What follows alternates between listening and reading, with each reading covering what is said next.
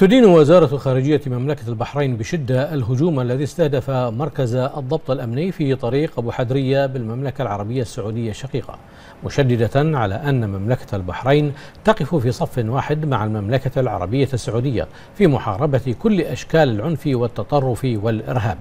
وإذ تشيد وزارة الخارجية بالجهود الكبيرة لقوات الأمن بالمملكة العربية السعودية في مواجهة مختلف الأعمال الإجرامية والإرهابية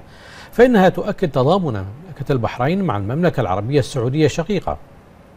في كل ما تتخذه من إجراءات وما تنتهجه من سياسات لردع كل, ما يست كل من يستهدف أمنها واستقرارها.